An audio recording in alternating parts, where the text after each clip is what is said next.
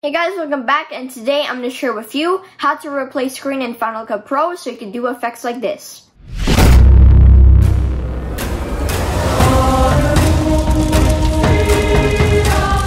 This screen replacement tutorial, I'm going to show you three methods of how to do this, so stay tuned to the end of this video so you can know how to use it in many different situations. Just quickly, let me give two shoutouts as every day. First, the notification shoutout goes to MODY. Thank you so much for being first in the last video, and shout out to you. And the fan shoutout goes to Sebastian World Gaming and Animation.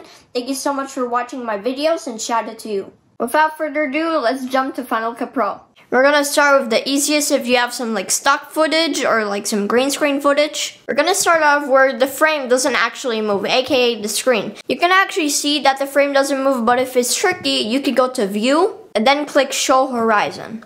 Now you see this line. Now focus on this little rectangle here. When you play this video, it'll stay in the same position. You see, there you go. You see, the people are moving, but it's still centered in the same spot, so that's important. And this is super easy, actually. Now we're gonna get my clip, for example. Obviously, we removed the parts that we don't need. Now you put this on top of the other frame. Now click the transform tool. And now approximately covered the screen. Don't worry about it, everything's gonna work fine in just a second. Don't worry if it's sticking out, that's what I'm saying. So now that you have this done, now put the clip on the bottom of the other one. Click the other clip then take here and drag it to the clip. And there you go. This is a very dirty green screen as you can see, but we can fix it. So what I usually do is click matte tools and then drag this line from left to right. You see now when you play it, here's the effect. But now let's say if you wanted to be more animated and you wanted to zoom into the screen. Remember, this is two different pieces of video, this one and this one. So we're just gonna make it into a compound clip. So mark both clips together. So click the right button of a mouse or click two fingers on the trackpad, then click new compound clip. And don't worry about the name, just click enter. So we're gonna zoom in and out and it's gonna act like it's one video. So for example, we click transform tool, then on the top click add new keyframe, then click next keyframe, go to the end of this little clip for example, resize it, and move it to the right for example. Then click next keyframe. Now you see it's zooming in, but everything's attached together.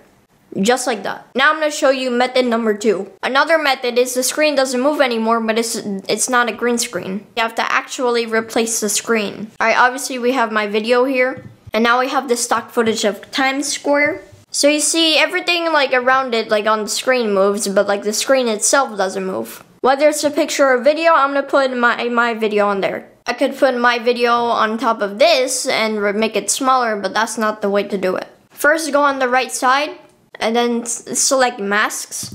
I like to do this mask, draw mask, because you can basically draw your own mask. So drag it on top of the clip. And pretty much we're gonna mask this part out.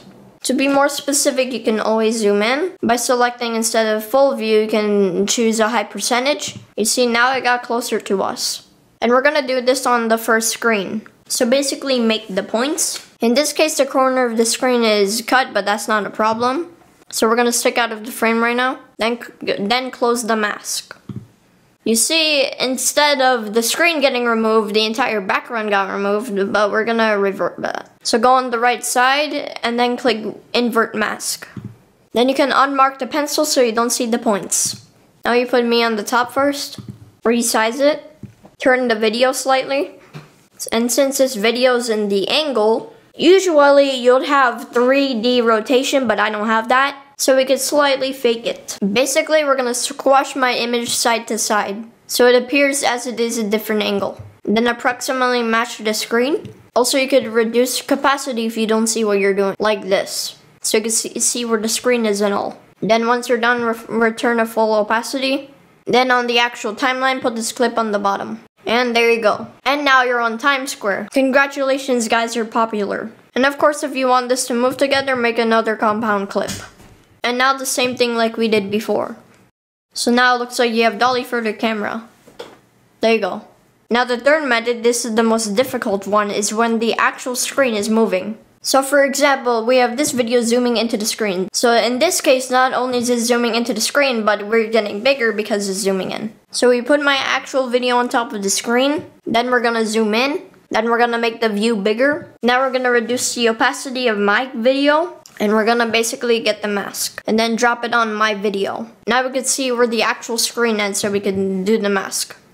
Now return your clip to full opacity and now make final adjustments. Now we click the transform tool, then click add a keyframe on top, then the next keyframe, and then you have to do it frame by frame. So you move one frame, then add another keyframe. Obviously, move your video so it matches the screen. To move one frame, you can even click this arrow on the right. Usually, this would be easier if Final Cut Pro had motion tracking, but it doesn't. So you just have to do it frame by frame. Every time you see it moving, just adjust it. Obviously, you make it bigger if necessary.